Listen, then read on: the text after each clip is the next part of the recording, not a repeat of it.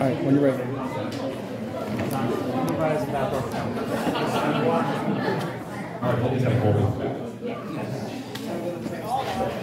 We'll. Friends and family, uh, let's give thanks for what happened today and for this meal. Let's continue our, our celebration. Lord, we thank you for blessing the love and commitment of Megan and Justin as they share their first meal together and ask you to continue to bless them forever.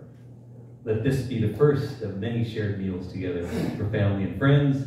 And bless this food with your amazing grace, O Lord. Amen. Amen.